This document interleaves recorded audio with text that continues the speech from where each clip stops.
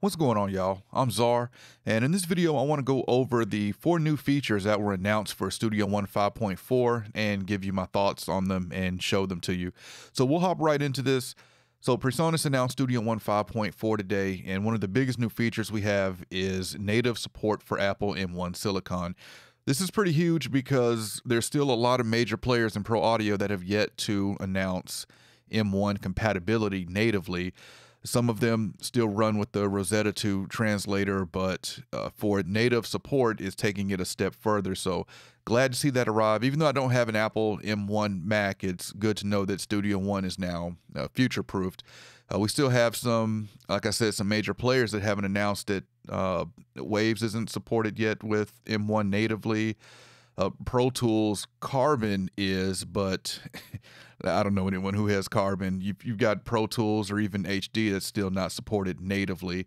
And uh, iZotope is another one that hasn't announced uh, native support yet. So, you know, we should get them hopefully soon, but good to see PreSonus go ahead and announce this.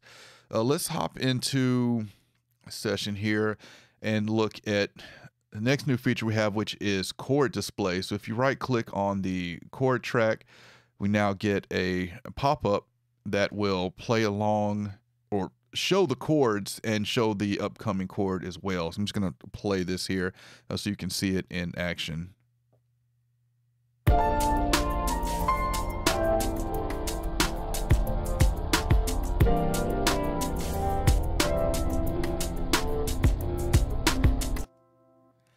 All right, you also have a input chord where you can play your MIDI keyboard and that will show you the chord that you're playing, which is really nice.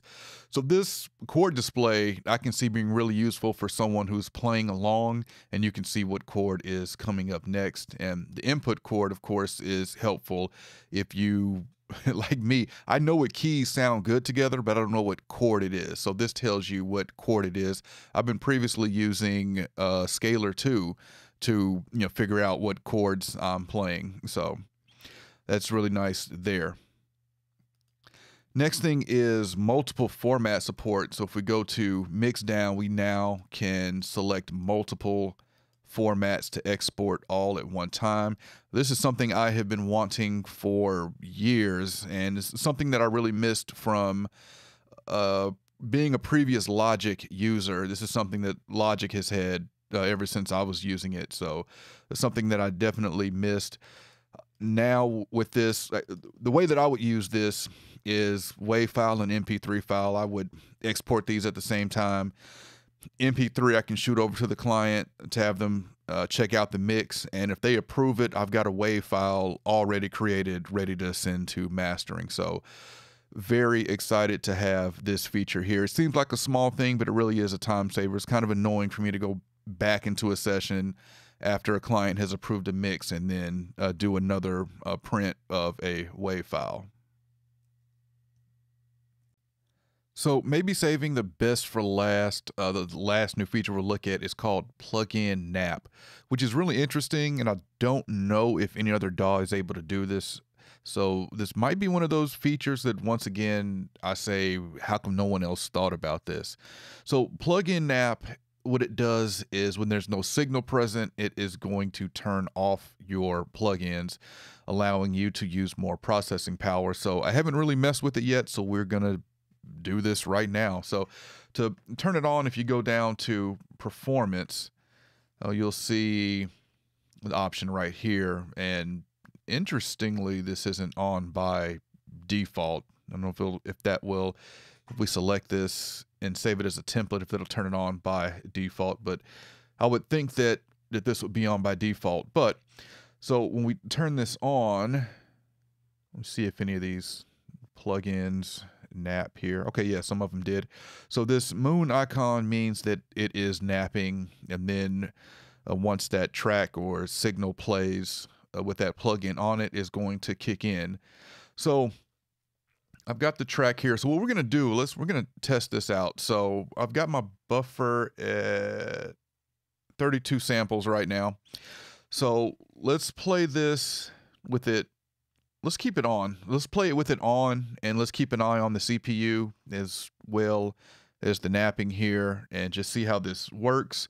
And then we'll turn it off and see what kind of CPU difference we get.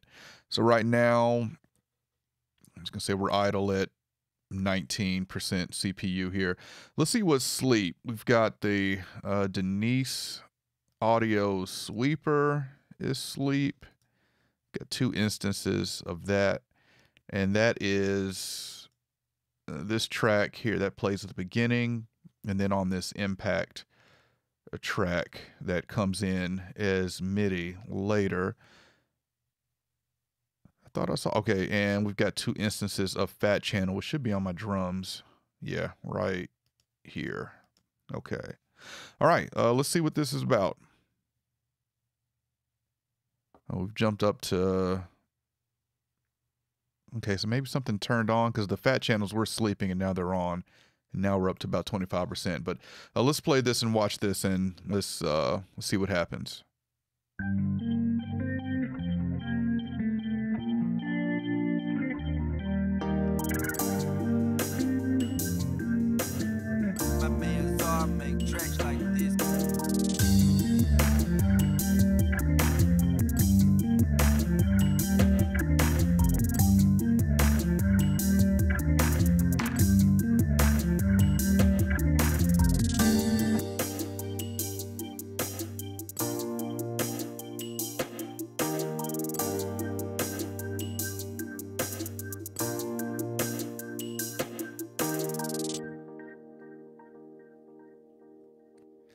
Okay, so an observation I noticed here is that in this blank area here, where I had some piano chords playing, one from the Grand Rhapsody from Waves, uh, that it did not nap that, I realized.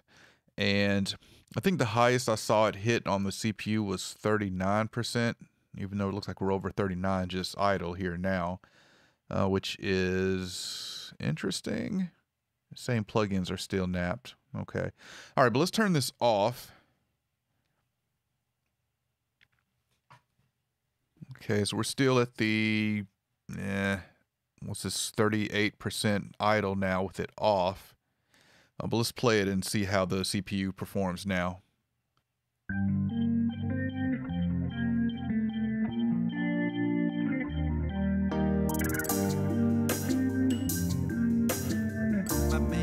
Make tracks.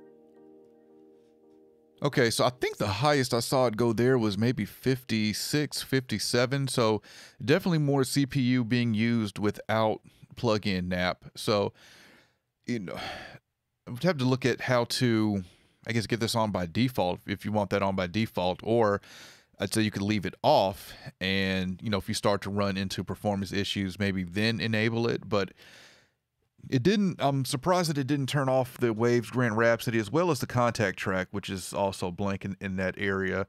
And to my knowledge, it's, it's supposed to work with obviously the PreSonus stock plugins as well as third plug third party plugins.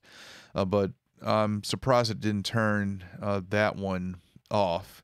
And even, I guess, out of the whole thing, we've got blank space here, even in the beginning. So I feel like it should be. Let's turn it back on. I feel like I feel like it should be napping those tracks before we even start because nothing plays until what bar three. So, but man, I just don't completely understand how this works. But uh, we were able to see that it did save on CPU.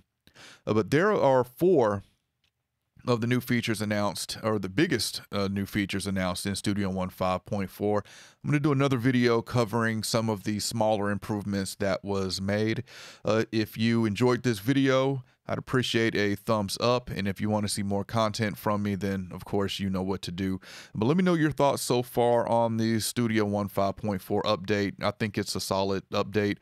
I think people are I haven't really been in the Facebook group to see what people are saying about it, but I know usually when an update comes out and there's not a ton of new features, people get upset. But, you know, to me, Studio One has just added so much over the years that they really don't have that much to add to it. I don't think we're going to see another update that has you know 20 new features or anything like that because so much has already been added to it and you know from now we're just kind of slowly building on top of that but let me know your thoughts let me know what you think of this update uh, any questions comments let me know and i'll catch y'all next time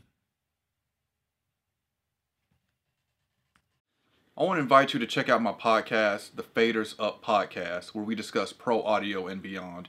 We discuss everything from recording to gear to the music business. So if you're an audio engineer, songwriter, recording artist, music producer, this podcast is for you. We recently started season two, and we're going to have a lot of listener questions on this season, as well as some really cool guests that's lined up and giveaways as well. So if you've already subscribed and followed the podcast, thank you. If you haven't, it's available on all platforms, and I encourage you to check it out. Also, rate it and review it, and let us know what you think.